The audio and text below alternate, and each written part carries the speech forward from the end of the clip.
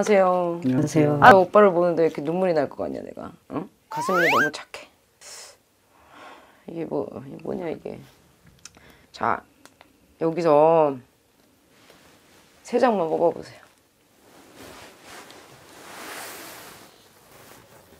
아무거나 하면 네.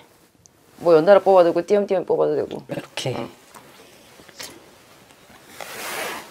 본인네 어, 젊은 사람이야. 응? 나이 드신 뭐 엄마나 이런 측근으로는 안 보이시고 본인은 지금 신령님의 가호 속에서 살고 있다 그래. 응? 그래서 혹시 와이프 여자친구 와이프야? 결혼하셨죠? 응? 네. 응. 와이프가 무당이야? 안 그래도 사실 그것 때문에 응. 끝나면 어떡하려고 그래 걸리면 걸려 아 그래요? 그럼요. 어? 오면 걸리지. 근데 내가 왜 왔는지는 알겠다. 어? 본인이 이렇게 와이프를 보니까는 무단길을 간다는 게 쉽지만은 않아. 솔직히 내 나도 이렇게 보면은 어, 이 만신들이 우리의 인생도 굉장히 외롭지만은 그 옆에 있는 배우자가 더 힘들어. 왜냐? 뭔가를 결정할 때도 신령님이 하지 말라 그래. 그러니까 너 하면 안 돼. 이런 응? 그런 의지도 다 따라줘야 되고 또 보면은 우리는 산천으로 추운데 기도를 가고 응? 여자 나도 여자지만 여자로서의 인생보다는 내가 할 수 있는 게 마음대로 없으니까 신령님 또 자식보다도 신령님이 돼야 되고 신랑보다도 신령님이 우선시 돼야 되는 직업을 갖고 있다 보니까 어떻게 좋게 얘기하면 직업이지만 우리는 숙명이고 어? 운명이잖아 피할 수 없는 길을 가는 사람인데 내가 볼 땐 본인이 그거를 참 가슴 아파서 어? 우리 와이프가 무당을 안 했으면 어떨까 그냥 집 안에서 살림만 하고 살았으면 좋겠다 하는 그런 간절한 마음으로 온 걸로 보여 응? 그쵸? 사실 그게 가장 큰 고민인데 응. 뭐 직업적으로 이렇게 하니까 이해는 해준다지만 응. 옆에서 보는데 솔직히 너무 힘들더라고요. 응. 이 일이 진짜 힘들어요. 힘들고 남들이 볼땐 굉장히 화려해 보일 수 있지만은 어, 본인 마음이 그래. 이 여자가 너무 여리여리하고 또 내가 볼 땐 그분이 잘 불리는 걸로 보여. 그래도 꽤 괜찮은 또 시- 괜찮은 신부모 한 5년 정도 됐어요. 아, 그 정도 된 것 같아요. 어. 네.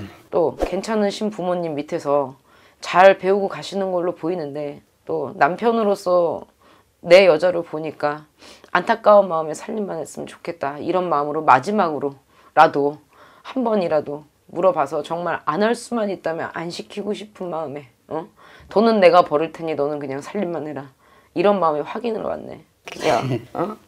제가 볼 때는 그 확인이 안 될 것 같아. 어떻게 보면 본인 또 이런 생각해. 솔직히 얘기할게 내가. 보통의 이 만신들 옆에 잘 불리는 만신들 옆에 보면은 배우자가 살펴주 같이 살펴주던가 그렇지 못하는 매니저나 실장님을 두고 우리가 일을 같이 하는데 본인은 직업이 굉장히 뚜렷한 게 있는 걸로 보여요.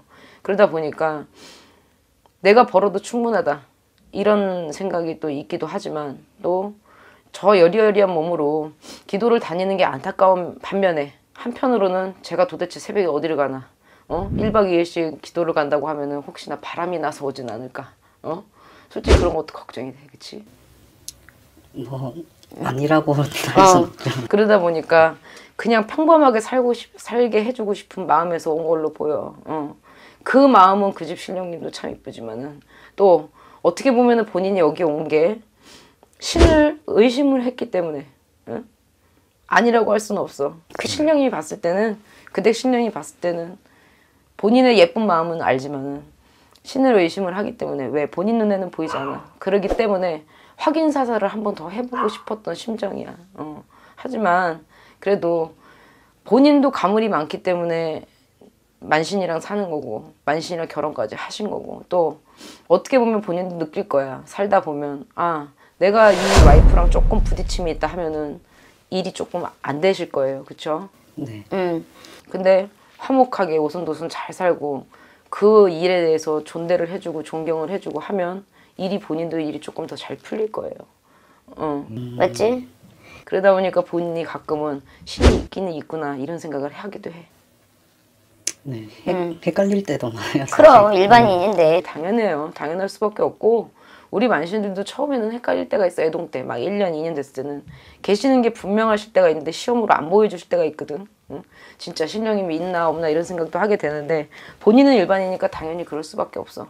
하지만 그때 신령님이 그래도 본인이 그 배우자를 굉장히 사랑해주고 또 얼마만큼 안타까운 마음을 가지고 있는지 아시기 때문에 응? 많이 보살펴 주신다 거기서. 그러니까 지금 하신 것만큼만 잘 보필하셔서 어?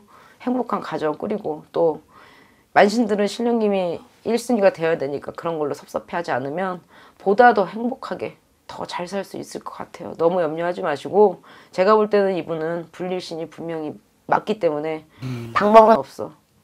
신령님 모시고 가야 되는 사주가 맞아요. 어. 여기까지 하겠습니다. 네. 네. 그래, 감사합니다. 네. 네.